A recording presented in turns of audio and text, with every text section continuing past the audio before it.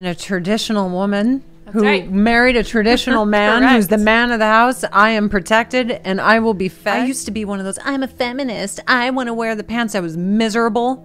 I was a miserable. I can't say the word. Bad words want to come out of my mouth. I'm trying. Miserable lady. In I was a the After miserable broad. Yeah. Yeah, there you go. and now that I've like embraced my role as a woman and I have a man who's a man, So great, I right? feel, dude, I'm baking cakes It's and I'm great. making pizzas I love it. and I'm decorating So fun. stuff. And I'm so happy, and I like being a chick. And I, th- I was more unhappy trying to be a dude. Like I could do anything a man can do. No, I can't. I can't even open a pickle You jar. do different things. Hey guys, this is Eddie, the African Red Pill. Welcome to the video.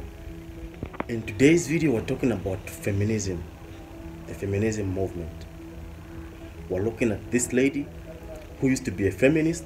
Now she's confessing about how she's happy ever since she gave up that notion of being a feminist and how she's happily married and she doesn't even regret changing that decision.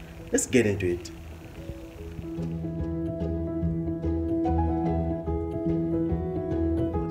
When a society gets woke, it goes broke. And a broke society has no food, which then struggles and is forced Cycle. to get rid of the woke. Unless you're a prepper and a traditional woman who right. married a traditional man who's the man of the house, I am protected and I will be fed and you will be.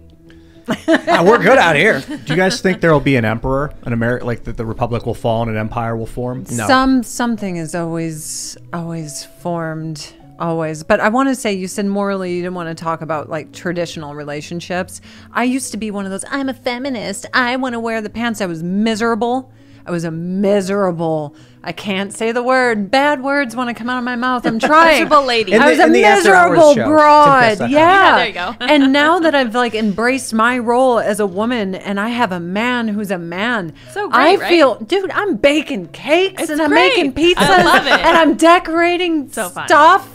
And I'm so happy, and I like being a chick. And I, th- I was more unhappy trying to be a dude. Like I could do anything a man can do. No, I can't. I can't even open a pickle jar. Realistically speaking, have you noticed that most feminists are miserable?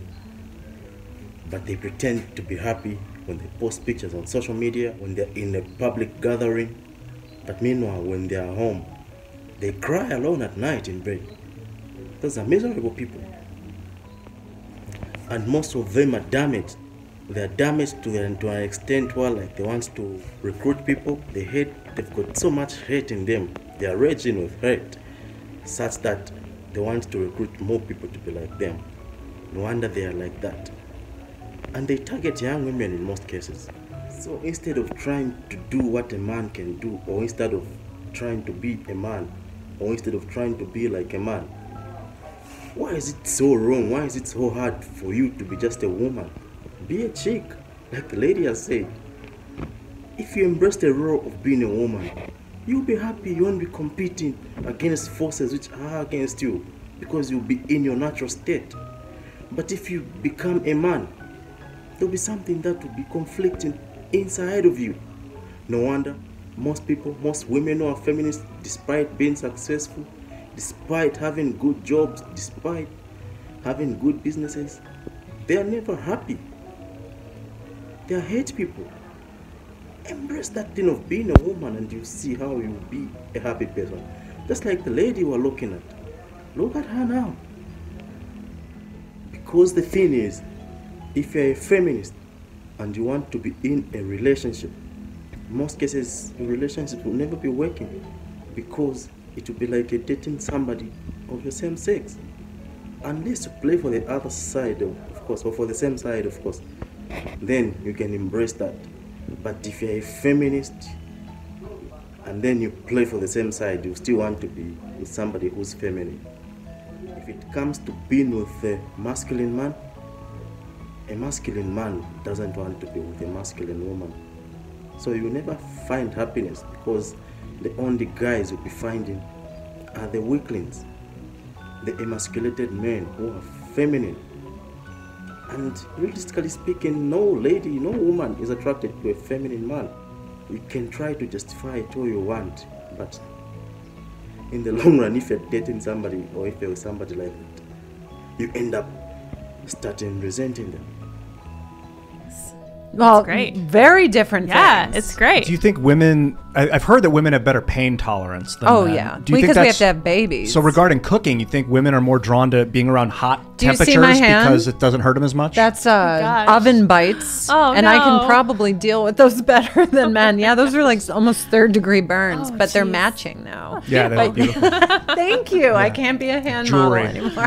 I did end up with a much different view of womanhood after uh, after I got- got pregnant and after my son was born. How And so? It was Sure. drastically different. Um, well, for one thing, you, know, I, you guys have heard me say this before. Like, I'm very, I'm very glad to be a mom. I'm very grateful every day that you know I have my son and whatever.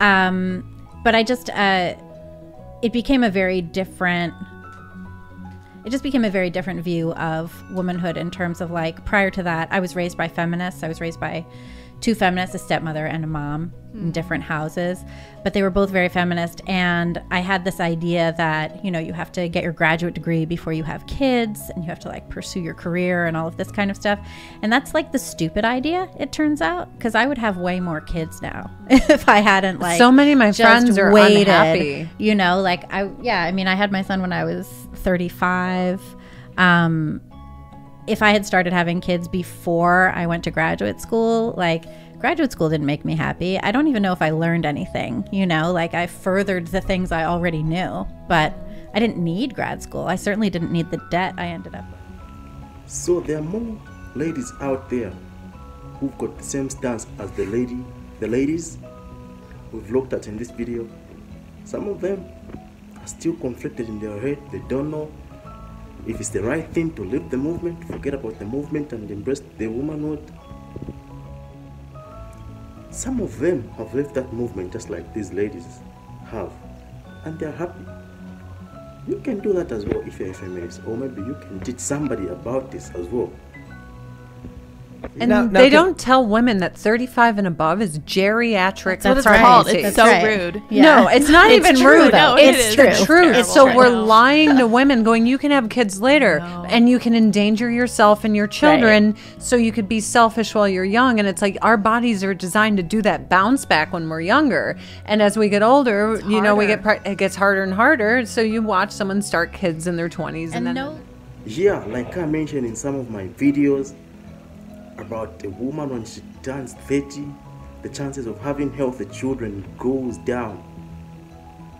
After that, if you reach 35, yeah, like the lady mentioned, it's even harder because you only have like 4 or 5% chance of having a healthy baby. No wonder you should get married or you should start having children wh- when, when you're still in your 20s. Yeah it's and a no struggle. lifestyle no like hedonistic debaucherous lifestyle is worth those lies no, no. But I mean, it's tough to tell someone don't do what I did. Like, hey, I partied hard in my twenties. Don't do that. Oh, I- you be you Okay. don't get to enjoy the, the wild. I totally still could have partied hard in my 20s, which I did, uh, and still had kids sooner. be a Midwest 'Cause, parent. You I could open have the been, garage, even if I had been 30, Yeah. right? Yeah. Like, still.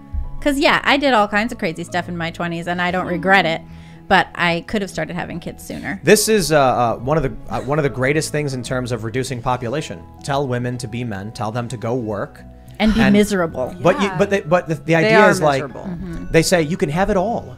You can have a family and be the CEO, and that's just not true. It's not even easy for a dude to do all of these things. Very few people are CEOs of, of I should say of Fortune 500 of big successful companies. Right. It is it is hard to balance everything, and what we're seeing now is for for for guys who are trying to have families while their while their wives are working and they have kids even they're struggling like which parent is going to watch the kids oh the kids got to go to a, a public school as daycare basically so when it was women were raising the kid it was easier for the guy to succeed when both are trying to succeed in the exact same space neither there's an old uh, i think it's an old japanese saying a person who tries to catch two rabbits will catch neither something like that that's basically what we're seeing That's a good so one. look, I you, it could be the dad who wants to stay home, fine, whatever. It can be the women who want to stay home with the kids, but someone needs to be in charge of family. Yeah, Yes. that's definitely true. And women are better at it. I'm right. sorry, and that's why they I- I would try thi- to erase us now. You They're know- like, you- you don't exist. You know why I think women are better at it? because women actually produce food for their babies. Yep. Yeah. So like, could you felt- imagine if yeah. like the, the a mother gave birth to like twins, and then within a few months, like I'm going back to work, it's like just give the babies formula, I guess. It's like okay, well, you know, breastfeeding is an option. That what makes- formula? There is none. right now, especially. So I'm- I'm not saying like I know certain circumstances like um, what wet nurses were a thing. Right. I'm that just was a saying thing for a very long time. Yeah. women have the natural ability to feed their kids, not all of them, but more, more so than men do. Therefore, there, there's advantages for women being in charge of the family. This is where I'm gonna end my video. Hit like, comment on the topic, subscribe if this channel entertains you. See you in the next video. Peace.